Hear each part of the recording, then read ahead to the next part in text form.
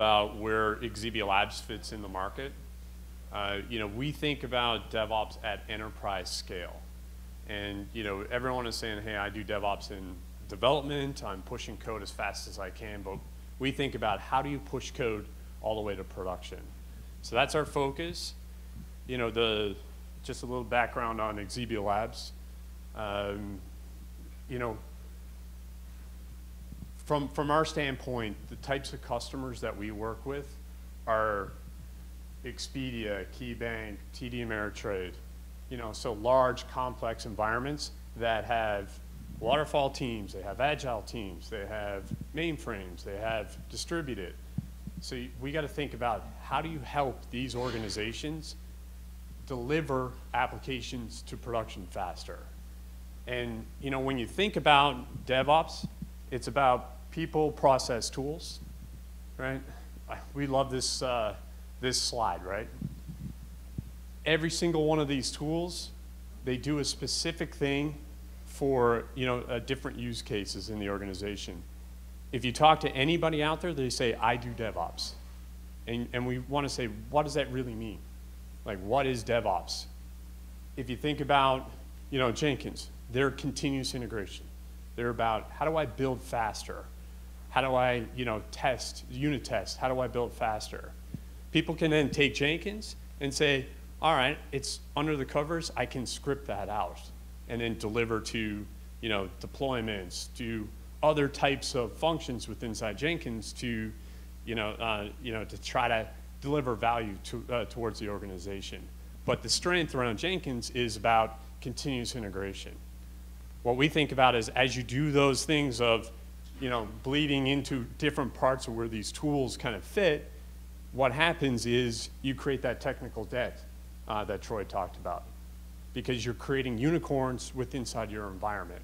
What we think about is how do you connect the people, the process, the tools to create standardization that everybody can get on, right? So that you can in incorporate it so that you're using the right tool for the right job, but you're also including the process and the people so that you can deliver applications all the way to production. We're not about delivering it to development or QA. We got to think about what is that entire process from when you think about the creating the story, the epic, whatever that is, all the way to when you build the software, when you actually deliver it in production. Right? This is where, you know, this is the way that we think about it. We have two products. One is release orchestration, or ARA, or enterprise DevOps. There's so many different terms that are out there. Um, but we think about it as you have to herd the cats, as Kevin said. You've got to, you've got to go from plan to operate. And you're going to have teams that have mainframes. You're going to have the teams that have distributed. Even undistributed, there's Java, there's .NET. There's all different types of applications. But at the end of the day, you're planning, you're coding, you're building, you're testing, you're releasing, and then you're operating that, uh, that software out there. And you've got to be able to connect the dots across the entire, uh, that entire landscape. We have XL Release that sits on top. It helps you coordinate. It integrates with all the tools that are out there. For example, with CompuWare and ISPW, they do mainframe deployments and SCM for the, for the mainframe. They created a, a product that exposed an API, we quickly integrated with it. It took a half a day to be able to integrate with the CompuWare suite so that we can then incorporate that into the entire process. Right? So that's what the modern tools on the mainframe are able to, to help us. But we also deal with all the other tools that are out there as well. So XL Release is coordinating the people, the process, the tools as you, as you move forward. We also have a deployment on, uh, automation solution. It's called XL Deploy. Essentially what that's doing is rather than your developers creating technical debt by writing their own deployment scripts and those things, and then trying to incorporate them into a Puppet, a Chef, an Ansible, a Jenkins, whatever that script runner is that you're gonna, that you're gonna uh, look at, we say there's gotta be a standard way of how do you deploy to containers, how do you deploy to you know, on the distributed side, how do you deploy to Java? How do you deploy to different components? What we've done is we created standards so that we can automatically generate the script. So we take automation the next step of automating the generation of the scripts that you need to do a deployment in dev, test, or QA. So it's massive value because you're not creating unicorn deployments uh, and trying to orchestrate it yourself by creating technical debt uh, with, and scripting it out yourself. Or trying to create technical debt where you're building your own workflows to be able to do, uh, to be able to do that. We think about standardization. Standardization so you can actually go faster. And if you, and if you are trying to create, uh, you know, in your process a number of unicorn releases or unicorn deployments, then everybody's going to be different. You're not going to be able to standardize. And in large organizations, the way that you go faster is you can standardize and then you can put people on the right train. I'm not saying that everybody's going to fit the exact model. Like in Kevin's example, you have people that are still doing everything from the manual task perspective. What we give you the ability to do is standardize. Kevin hit the nail on the head when he said you have uh, you know, people that weren't actually following the process of doing a rollback. Or, you know, how do I back out if something happens in production? That's risk to the organization. Now we can actually put people on the train if they're still a manual process to be able to make sure that they're following the standards of the organization. By and then using the data, so that goes to the last piece, which is DevOps intelligence, is using the data to make decisions on where do you need to make the next change right? Everybody wants to go faster. Everyone wants to automate. It's, you're not going to be able to do that overnight, and you need to make bets and you need to make decisions, but you can't do it based on gut feel. You have to do it based on data. And what we're able to provide you is that visibility across your entire pipelines so you can say, you know what, it's this testing uh, you know, challenge that I have. It's still a manual testing, and we're doing it in serial, right? How can I then make that into a, you know, how can I then speed that up? That takes three months. How can I speed that up so that it's only one month? I can use DevOps techniques, which is the spin up environments, you know, deploy the application to those environments, and I can have three manual testing teams do that. You just saved a month off of a release.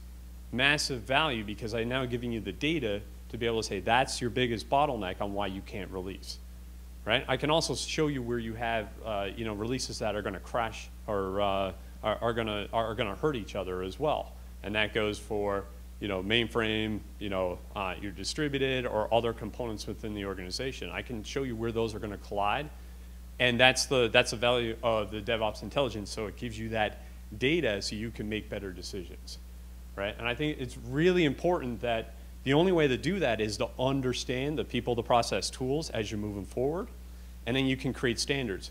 Some may say, my CI tool is going to be Jenkins, but I still have a .NET team. They're going to use TFS, right? Or another technology to do their builds. So, you, you know, if you rip everything out and you try to, you know, take something and force it down, it's not going to work, but you still need to be able to get control over those processes that's where XL Release gives you that, that, uh, that, that capability as well as the intelligence of saying, I use three different CI tools. Which one is the best? Which one's the most efficient? Who has the best knowledge? And, it, and you might have an idea today, but you're going to use data to be able to define these are the ones that I'm able to actually go faster with, which is really important. Right? And we've seen a ton of slides, right? Of here's all the tools that are in my environment. So as you go from plan, code, build, test, I go back to that DevOps uh, you know, periodic table. There's tons of tools that are embedded into each one of those, uh, those components. Some, some tools are missing based on your organization and your process, um, and we can account for that as well. Huge, there's huge value in just understanding you know, where those gaps are so that you got your baseline, as Kevin said. Here's a baseline of where you are. And now, as you add in automation, now you can actually justify here's the, uh, uh, you know, here's the value that DevOps is bringing to the organization, right? The biggest thing that we think about for uh, enterprise DevOps is to be able to do it at scale for an organization, right? We have one very large uh, financial organization, credit card company, they have 5,000 users on the platform. They don't use our deployment tool. We've integrated with one of their other deployment tools, but they have 5,000 uh, members on it because they've standardized their process of how they, not only do they, uh, you know, the process of delivering software, but they've standardized the process of how to onboard people onto the platform. Because you think about the, the logistics and the politics and those types of things that go into changing the organization, they had to come up with a way to be able to standardize and make that work for them. And that's, they're using our product, it's kind of like we're eating our own dog food to be able to stand up our own, uh, our own product uh, within the organization. But they're seeing the value because they've standardized the process and now they can actually have people jump on board. And some of them are on the slow train, right? They're on the pipeline that's just, you know, a manual process. Others are on the, the fast train. They're using containers, they're using, you know, the, the newer types of technologies that, that are out there. And we're, we're able to bridge those gaps so that we can uh, offer a platform that gives each one of the constituents the, uh, the ability to join. Then they're using data to actually make decisions of where do I go next. And I think that's the, uh, that's the important part uh, you know, that, that we see. So I've got a quick, um, you know, this is, the, this is our products. And I'm going to go over to XL Release first. Right? So I talked about people process tools. This is within the product. You're moving from development, test, to prod right? Each one of these blocks are tasks that need to take place. Some of them could be manual tasks, some can be automated tasks. And all we're doing is we're connecting those things together so that we can actually, uh, you know, enable someone, if they're checking in code, it automatically opens up a change request. Then it goes to a build, uh, Jenkins to do the build. Then it goes into updating comments those are all automated tasks. Then you get into the deployment side. We integrate with ISPW so that when we need to deploy a component to the mainframe, we deploy that component to the mainframe. If we need to now deploy a distributed component, it's deploying with XL Deploy to that, uh, to that environment. And then you can use it to make decisions. So just, you know, so we can integrate and put a quality gate with SonarQube. So you can make decisions based on feedback from, uh, you know, SonarQube that this is the, this is the uh, you know, code coverage that you've got. I've got 80%. I can move forward. And all of this is the dev cycle can happen many, many, many times during uh, you know, this cycle. And then it's ready to move over to, you know, I'm going to move it into the QA phase. This is a really simple example, but it just gives you an idea. Now you're moving it, you're waiting for, uh, you know, the, the, uh, the uh, approvals, and this is something that you can either go to Jira, you can go to ServiceNow, you can go to you know, whatever your homegrown tool is to be able to say, do I have approval to move to the next phase? Then it deploys to that environment. Then it, and, and that environment's mainframe and, and distributed. But if nothing changed here, it can still move forward. Huge value. So it's making those decisions and it's being able to execute. It's performing the automated tasks. And it's not just waiting on one task, you can run things in parallel. Then you move over to production, and it's the same thing. It's going through and executing these things uh, depending on what the requirements are, right? If you have SOX compliance, if you have, uh, you know, you have to put different components into the plan to be able to, you're going to be able to add those tasks. Um, and based on feedback, it can actually spawn out additional type of releases based on condition feedback that you get from uh, the actual release. So it's able to be dynamic with inside the organization based on, uh, you know, once we execute something, we get feedback, we make a decision, we move to the next step based on what that, uh, what that feedback was. So it's always looking for that feedback loop. But in the, the entire time, what we're doing is collecting data right? And trying to understand for each one of these components where the risk is. Who's, uh, you know, wh where's the usage? What's the, what's the tickets? I can pull from ServiceNow, Jira, and actually connect into those tools. I'm not telling you to replace everything in your environment.